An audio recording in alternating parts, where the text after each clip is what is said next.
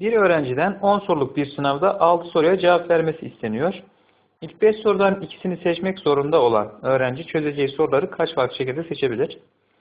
İlk 5 sorudan 2 tane seçmek zorundaysa son 5 sorudan da 6'ya tamamlamak için 4 tane soru seçmek zorundadır.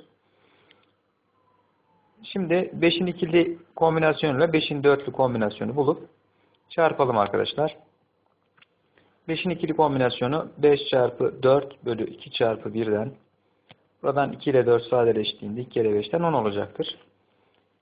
5'in dörtlü kombinasyonu da 5'in birli kombinasyonuna eşittir. Onun değeri de 5'tir. 10 ile 5'in çarpımından da işlem sonucu 50 olarak bulunacağından doğru cevap D seçeneğidir.